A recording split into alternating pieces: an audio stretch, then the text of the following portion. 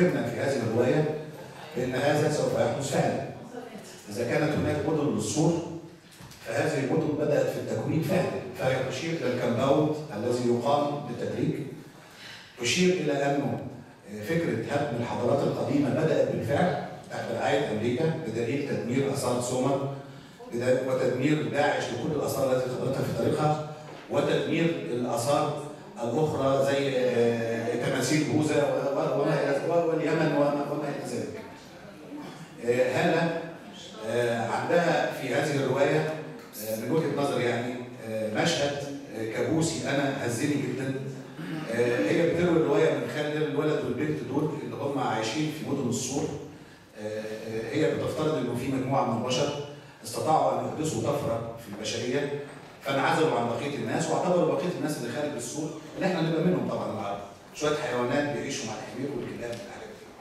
والناس عايشين جوه مدن السور ولد وبنت من مدن السور دول بيفكروا في يوم من الأيام إنهم يمارسوا الحب على الطريقة القديمة. هو المدن الحب معتاد في مدن السور بأن الناس بتدخل جوه أنابيب أو جوه قواقع وتسمع شوية موسيقى و- وروايح تطلع فيستمتعوا بالجنس لاقصى مدى. دول قرروا إنهم يمارسوا الجنس بالطريقة القديمة والولد مسك البنت قعد يبوسها ومد إيده على رقبتها وعلى صدرها ونزل على بطنها ونزل تحت بطنها فاكتشف إن مفيش حاجة.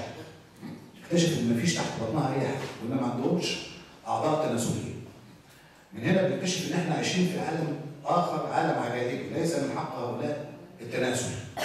لسبب بسيط جدا إن الناس اللي عايشين جوه مدن السور فيهم ناس بتعيش 4000 سنة و1700 سنة والناس ما بتموتش ليه؟ ما بتموتش لأسباب بسيطة جدا إن العلم تطور وعلم زراعة الأعضاء وال وال والجينات والتكنولوجيا آه، حضرتك رقبتك باظت ممكن نعمل نسخة منها ونركب واحدة غيرها. آه، عايز دماغ جديدة تتشال وتحط واحدة مكانها وبالتالي الناس بطلت تموت وبالتالي برضو أصبح من المستحيل إن الناس تتولد جديده ممنوع الولاده لأنه الناس اللي موجودة في داخل مدن السور على قد المتاح ومش مم- وممنوع أي حد يدخل في هذه السكة إلا لما يرجع للعقل الكبير اللي بيدير هذه المدن من الداخل. والعقل الكبير ده إحنا طول الرواية بندور نحاول نعرف هل ده آلة ولا إنسان ما نعرفش. إنما هو عنده قدرة كبيرة على معرفة التخاطر عند الناس بيفكروا في إيه بيعملوا إيه بي... والولد والبنت دول بتاخدنا معاها هذا البدري ان هم بعد ما اكتشفوا ما عندهمش أعضاء تناسليه تاخدنا معاهم في رحلة لأن هم قرروا يتمردوا ويتفرجوا على ارشيف العالم اللي هو اتلغى مع إلغاء الحضارات القديمة.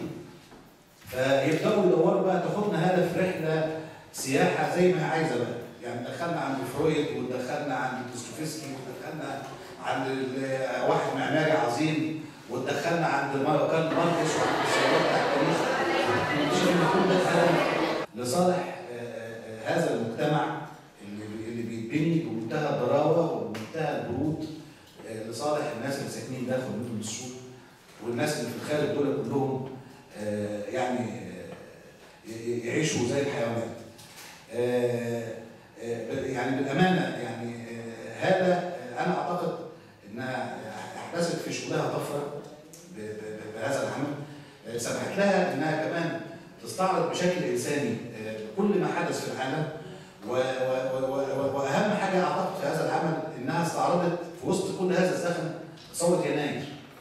وإن هم الولد والبنت بيصوروا ثوره يناير وبعدين يقولوا يعني ما هو الثورات دي آه، اكتشفوا لها اكتشفوا لها برضه في مدن السور مضادات حيوية يجيبوا ناس يدخلوا جوه الثورة ويدعوا إنهم من الثورة وبعدين يعتبروا الثورة وبعدين يبوظوا الثورة وبعدين الناس تك- تكره الثورة وبعدين الناس تتمنى إنها تعيش في عصر ما قبل الثورة وكل سنة طيبين. آه يعني بالأمانة يعني آه يعني شعرت يعني بانخفاض شديد إنه ده هيبقى ده مستقبلنا. خصوصا إنه آه، يعني هناك مؤشرات تقول إنه كلام هذا ده هيحصل فعلا. الآن هناك من يقول أن العالم ينتج الآن آه، كل 100 سنة آه، ما يساوي 10000 سنة من عمر الحضارة الإنسانية. هناك من يقول إن جينات الإنسان إذا افترضنا إن عمر الإنسان مليون سنة على الأرض فعمر الحضارة كله آه، 40000 سنة على الاكثر وبالتالي فإنه أكثر جينات الإنسان هي جينات آه، زي الدببة وال- والنمور والأسود يعني. يعني جينات متوحشة. وبالتالي عندها استعداد إنها تقتل أي حد عشان تت- تتسيب يعني.